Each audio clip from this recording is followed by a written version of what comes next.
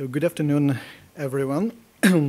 uh, so my name is uh, Stéphane Dorin. I'm a professor of sociology at the University of Limoges, and I did um, a survey about some of the interfaces um, events. So I will present the main findings and the hypotheses that we can make about this uh, this survey, and uh, we're obviously uh, open to to, dis to discussion in the following panel. So the title is uh, Researching the Frontiers of Contemporary Classical Music Audiences. And uh, this is, uh, in this survey, we, we researched the morphological aspects of the contemporary classical concert audiences on a selection of interfaces events, music events, because they are not always concerts in the classical meaning of the term. So the question would be uh, how age, class, gender, education, and musical expertise influence their cultural behavior, and how different kind of musical events, including but not limited to concerts, quote unquote, can provide uh, different ways to attract new audiences. What are the main symbolic frontiers uh, that still prevent or limit the diversification of contemporary classical music concert audiences. This is obviously the main challenge and the great difficulty of uh, uh, we, are facing with audience development. So the survey itself um, is, um, its design uh, is based on a collection of questionnaires distributed between June 2017 and December 2019 in a large number of interface, uh, interfaces musical events in uh, seven countries. Um, the, the design is based on the convenience sampling, that is to say on non-random or non-probability sampling, which have some uh, advantages. It's uh, easier to implement than random sampling, obviously, which is costly and lengthy and it's useful for pilot text testing, as was our objective, and it's a cost-effective method as well. Its main disadvantage uh, is a selection bias of the most involved segments of the audience. That is to say, no, um, it's not uh, everybody that answers the questionnaires, but only the most involved, or, or, at least it's the, the most common hypothesis that we have. So we have to, to make comparisons in time when we can about uh, these contemporary classical music audiences. So this is to be compared with the results of existing research on uh, this, uh, this kind of audiences in concerts and festival. You see here is a, a list of uh, well-known research in sociological literature about contemporary classical music audiences between 1986 and, and today. So um, the, about this existing literature, uh, we have some uh, fair uh, amount of the data about the socio-demographic profile of the audiences. In the later years, there has been a rapid aging of the classical music concert audiences, classical as a whole. Uh, the medium age uh, is about uh, 63 in France, meaning 50% of the audiences are older than 63. And uh, it's a main finding that uh, which confirms already observed trends in Europe and, uh, and America. It affects as well concert venues as uh, festivals, and there has been an acceleration in the last decade, which is most debated uh, in, in, the, in the cultural sector and the, and the academic sector. There are similar findings, as I said, in American and European studies, and the uh, survey in public participation in the arts in the US, or the Pratique culturelle des Français, or the Eurobarometer, and some uh, national surveys that are available among different countries all over Europe. Regarding now contemporary classical music as a specific segment of uh, this uh, music offer, uh, the audiences are slightly younger, in fact. The medium age today is around 55 against 63, but still, the age, aging over time is uh, also um, um, an aspect of this uh, phenomenon. We can uh, tell it from uh, the comparison of two uh, surveys. One I've been doing in the late 2000s about the audiences of the Ensemble Intercontemporain in France And uh, it was the kind of repetition of the, another study by uh, Pierre-Michel Menger, who is a professor of sociology at the Collège de France, and who, who did the same survey uh, 20, uh, 35 years ago now, and found a median age of 40. Whereas I found a median age of 55, that is to say some uh, aging, uh, even if it's younger than classical music audiences um, in, in France. And in regarding other aspects of this socio-demographic profile, this, these audiences are highly educated, more than 15% all the PhD, which is quite rare even in the cultural audiences, and um, 75 or 75 hold at least a, a, BA, which is really, really a high uh, percentage. They also um, hold a musical expertise, that is to say, high levels of music education and formal music education through conservatoires, for instance, and are also regular concert attendees of various genres of music, but especially in the highbrow uh, sector of music, classical, jazz, and uh, opera, for instance.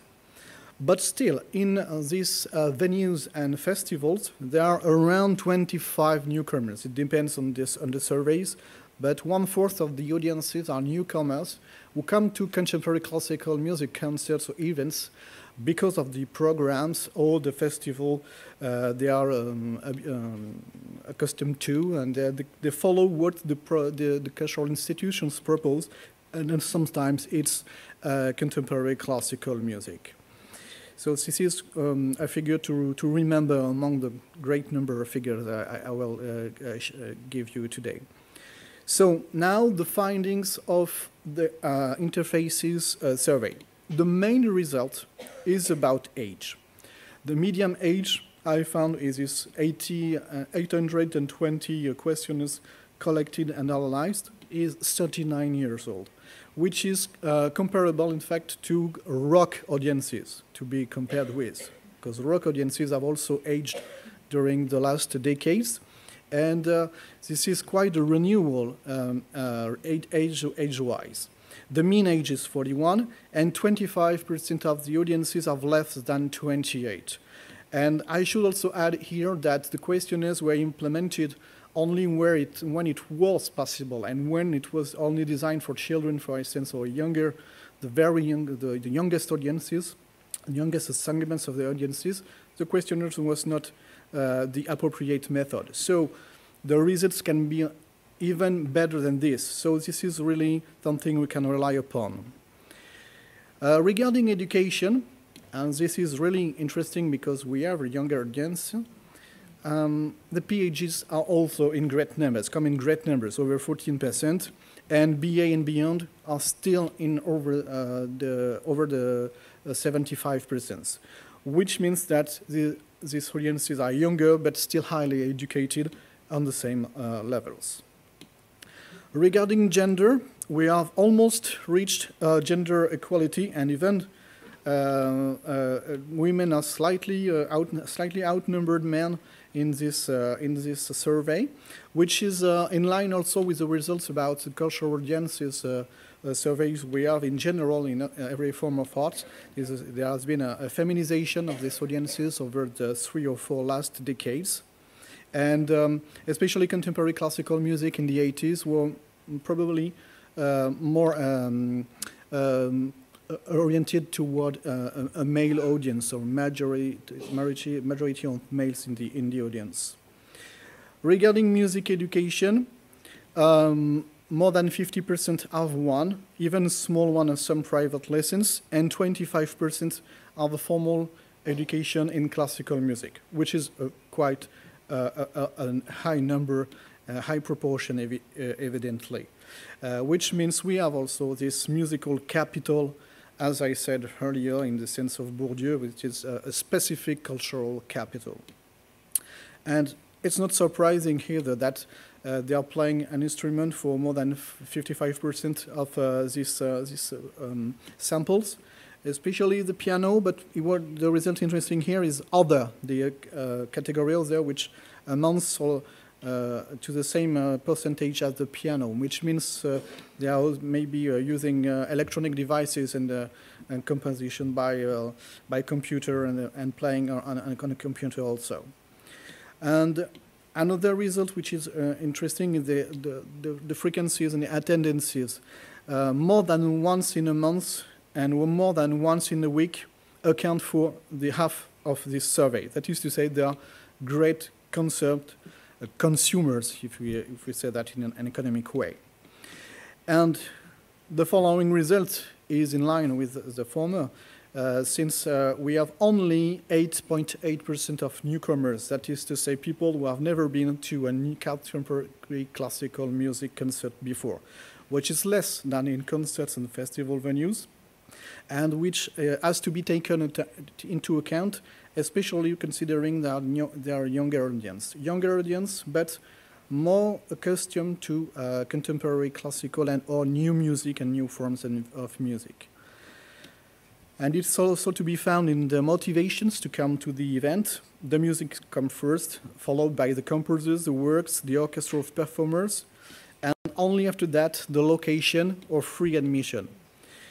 Um, and regarding the sociability, which is a very important uh, aspect of the cultural uh, uh behavior, um, a lot of people are coming with a friend of a partner. More than 50% uh, of the audience, if, if you add the second and the third line, with a friend of with my partner, which is also in line with what we know about concert attendances. It's um, a partner or friend um, activity but still, 30% come uh, on their own, meaning uh, people going alone to a concert, which is not uh, as frequent in the general population.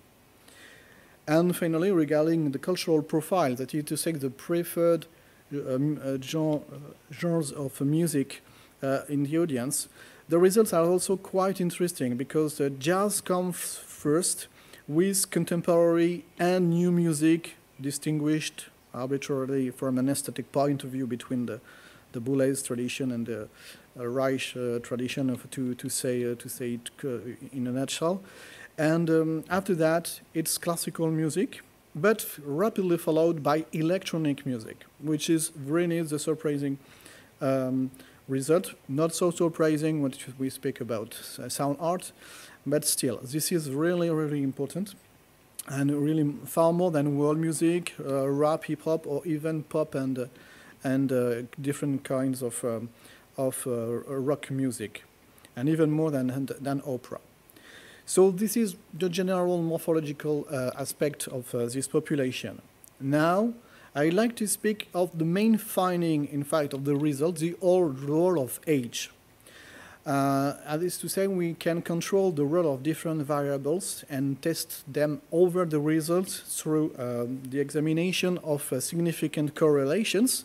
And when I tried with education, which usually comes first as the main um, um, determinant of the cultural behaviors, uh, or musical knowledge here, or gender, in fact, here in this survey, they have less significant effects than age. So age has particular significant effects, and which rely on a p-value in statistical terms, which are re really low. So this is really significant. The first one on sociability. The sociability is different um, according to the different segments of the audience by age. The younger segments tend to come with family, whereas middle age come with a partner or friend, and older ones come on, on their own.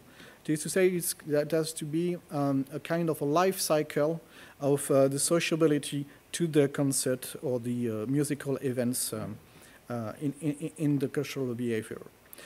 Uh, regarding experience with new music, it's no surprise that the younger, the 28 uh, years old and less, are more than 22% who have never been before to a new music concert versus 6% of the 50 plus. This is not really a surprise, but it is also interesting. That is to say, we have to slightly moderate what I was saying on the global sample. And our younger audiences are not that accustomed to uh, new music than the general sample. And regarding musical capital, uh, it's the opposite. Younger audiences segments tend to have more often a formal classical music education. and in, in quite large uh, proportions, 33% versus 8%.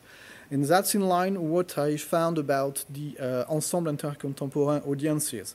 That is to say, the uh, audiences for contemporary classical music, when they are younger, tend to be more educated into classical um, music. And it's uh, true also of this uh, pan-European uh, survey that we conduct. Regarding motivations, we have also um, interesting results showing that the younger audience segments come because of free admission or to accompany someone they know or from, the, from their family, whereas the older ones come only for the music or the performance of musicians.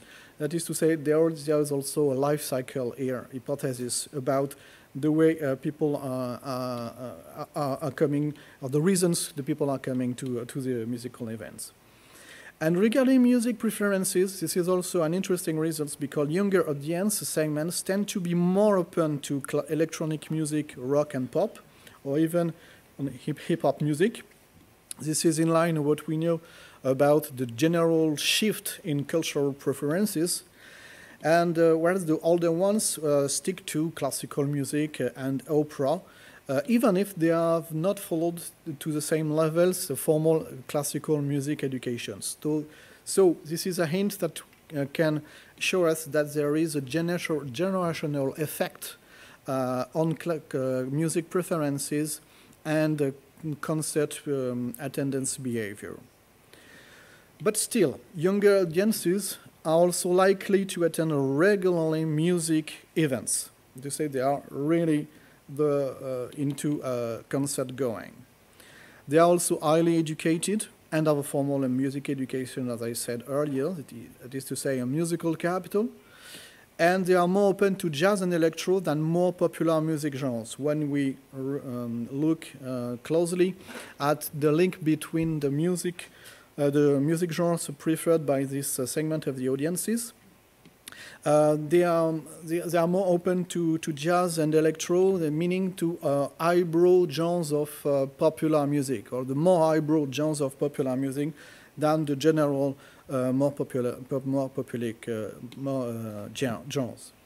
So um, I, maybe I can also um, add here that the role of age um, is a, tricky problem in social sciences as well as in epidemiology and uh, econometrics, because we know that age can um, um, hide different, uh, different effects. The, the, the, effects of age itself, that is to say the place in the life cycle.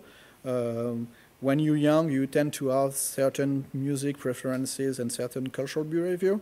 And when you, when you get older, you turn to different kind of music, maybe more serious, more calm uh, kinds of music.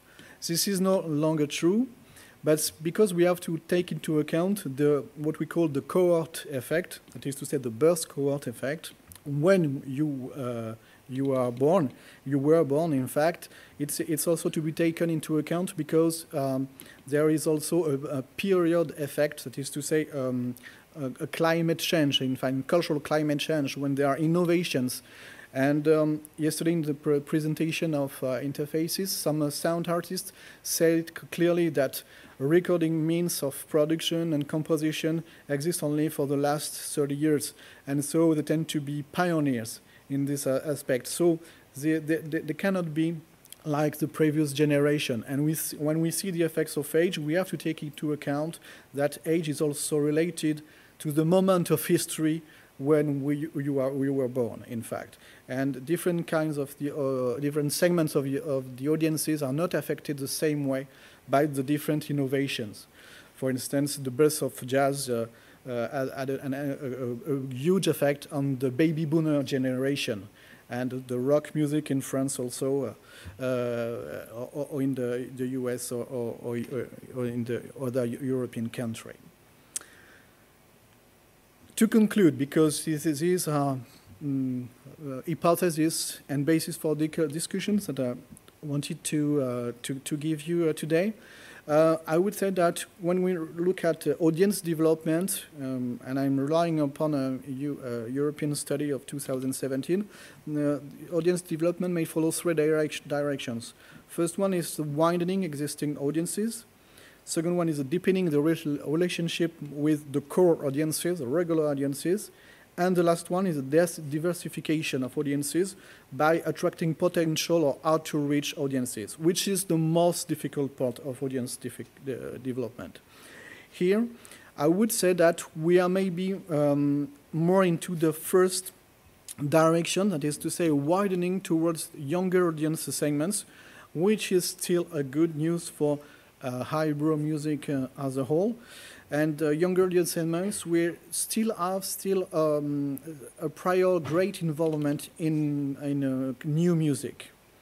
And these uh, younger segments are also open to jazz and electronic music, which means they have what we call in social sciences or learned eclecticism cultural profile, that is to say, a selective uh, kind of eclecticism and not the regular omnivorousness that some people are uh, uh, are, saying. And still, they are highly educated, uh, so it's, it's aligned with this learned eclecticism, with high levels of concert attendances and probably of cultural profiles, a knowledge and familiarity with contemporary classical music, and maybe more avant-gardist than classicist, but this is also to be discussed since the term avant-gardist is questionable.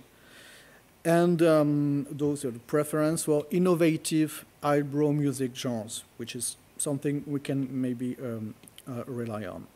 And to be, and the last phrase would be that we are in a, uh, uh, maybe in front of what I call a you can't have it all syndrome. That is to say, when audiences are younger, they tend to be more elitist by education, musical knowledge, and cultural profiles than the older ones which is um, a challenge for uh, every culture and institutions, and it's not uh, specific to contemporary classical music, and it's not specific to jazz music. Uh, it's also to be um, to, to, be to be shared with uh, other forms of artistic expression. Thank you very much.